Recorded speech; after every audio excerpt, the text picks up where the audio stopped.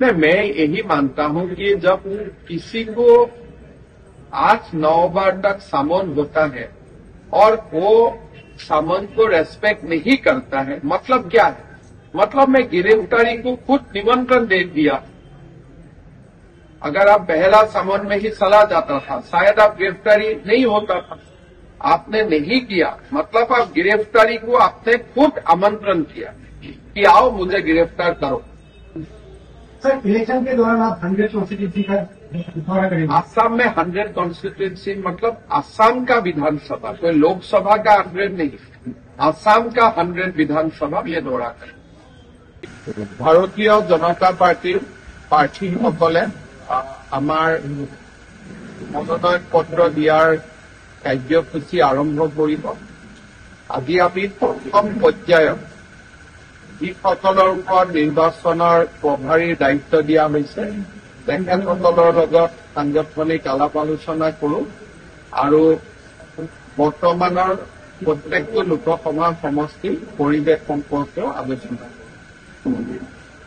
আৰু মই ভাবো যে মনোনয়ন পত্ৰ দিয়াৰ কাৰ্যসূচী খুব মংগল মাংগলিকভাৱে পূৰ্ণ হ'ব।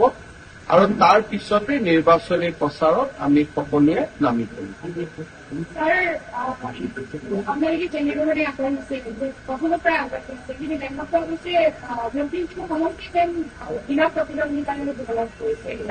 কি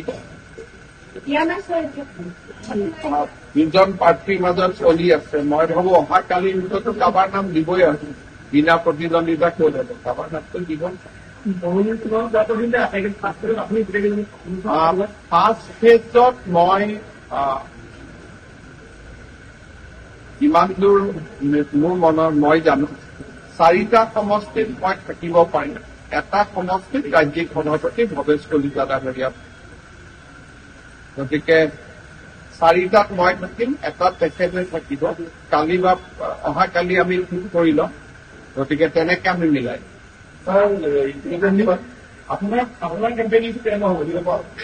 মোৰ কেম্পেইন এতিয়া মই ভাবো যে এক তাৰিখৰ আগতে প্ৰচাৰ অভিযান আৰম্ভ নহ'ব।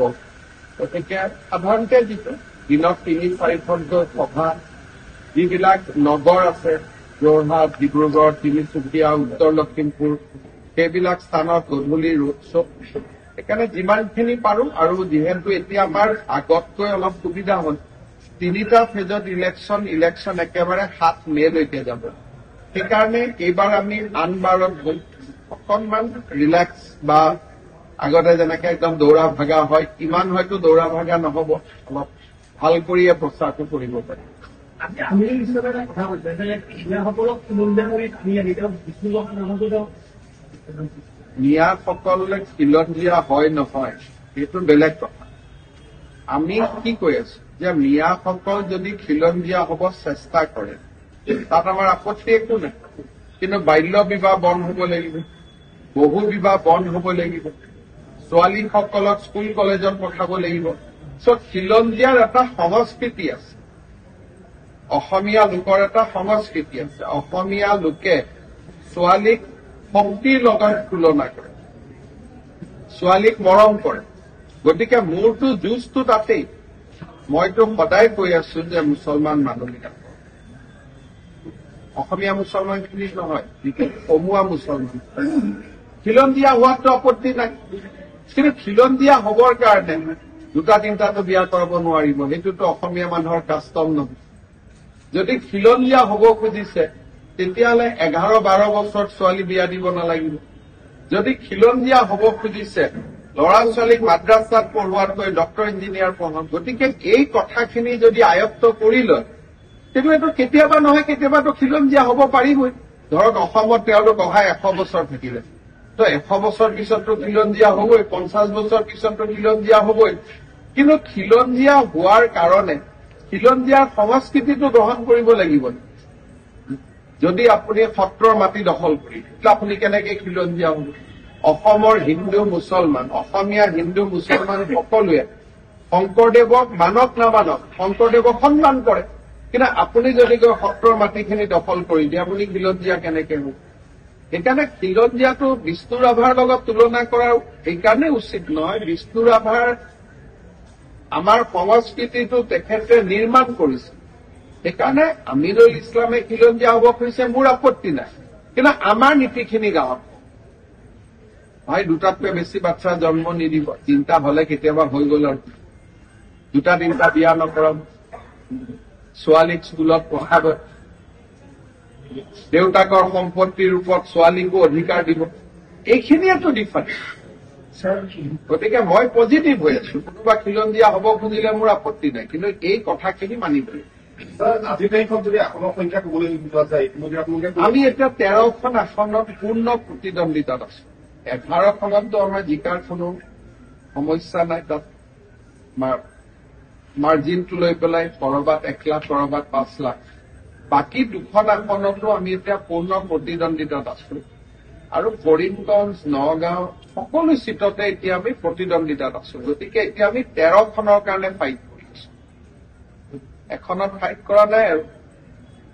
ৰকিবুল হুছেইন উঠিছে কাৰণে আৰু আমি বৰ বেছি তাতে চেষ্টা কৰা নাই। তেখেতৰ প্ৰতি আমাৰ শুভেচ্ছা আছে আজমলক ঘূৰাওক তেখেতে। আজমল হাৰিলে আমি ভাল পাওঁ গতিকে ৰকিবুল হুছেইনে যদি আজমলক ঘূৰুৱাই আমিতো আনন্দিত হ'ম। গতিকে ৰকিবুল হুছেইন আৰু আজমলৰ যুঁজখনৰ পৰা আমি নিজক আঁতৰাই ৰাখিছো।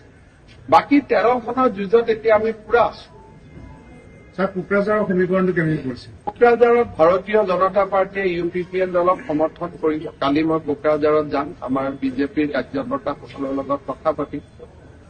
ইউ পি পি এলে আমাক দৰং ওদালগুৰিত সহায় কৰিব আমি তেওঁলোকক কোকৰাঝাৰত সহায় কৰিম ছাৰ দিল্লীৰ মুখ্যমন্ত্ৰী কেজৰিৱাল গৈছে সমগ্ৰ চব যদি এনফৰ্চমেণ্ট এজেঞ্চিয়ে নখনকৈ চামন দিয়ে আৰু সেই চামনৰ পিছত যদি কোনোবা নাযায়গৈ তেওঁকতো গ্ৰেপ্তাৰটো অৱশ্যাম্ভাৱী এই গ্ৰেপ্তাৰটো ইডিয়ে কেজৰিৱালক কৰা নাই কেজৰিৱালেহে ইডিক নিমন্ত্ৰণ কৰি আনিছে যে মোক গ্ৰেপ্তাৰ কৰক।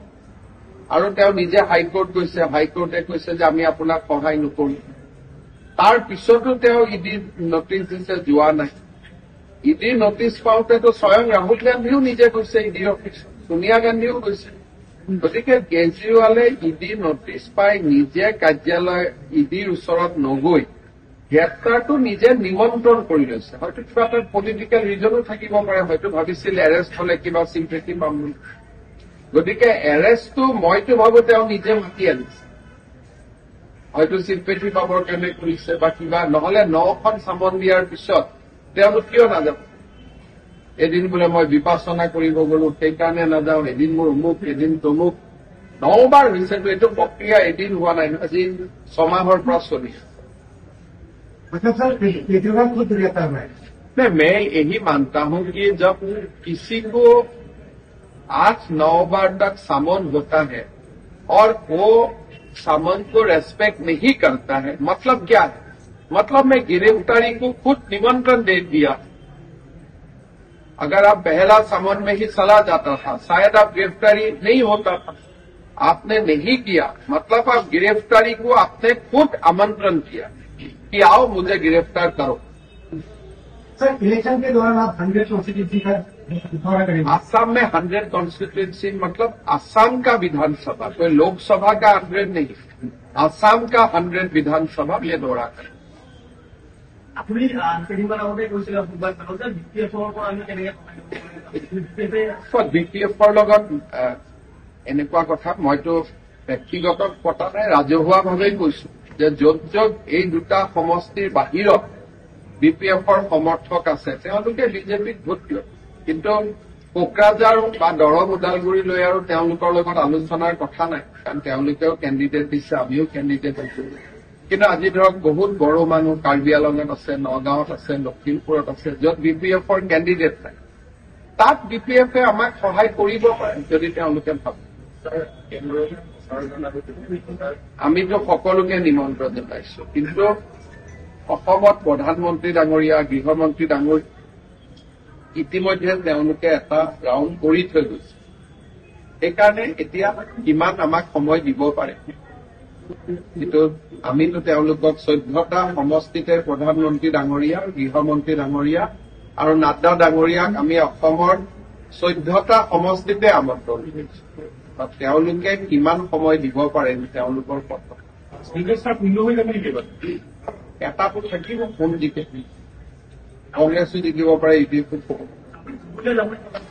ধুবুৰীলৈ মই যাম গোলোকগঞ্জ যাম।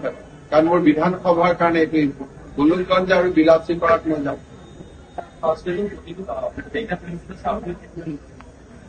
পাঁচটা সমষ্টি আছে তাৰ চাৰিটাৰ মনোনয়নৰ থাকিল এটাত মই নাথাকিম কিন্তু কোনটোত নাথাকো কোনটোত থাকিম এতিয়া ঠিক হোৱা নাই। সভাপতি মহোদয়ে এইটো ঠিক ঠিক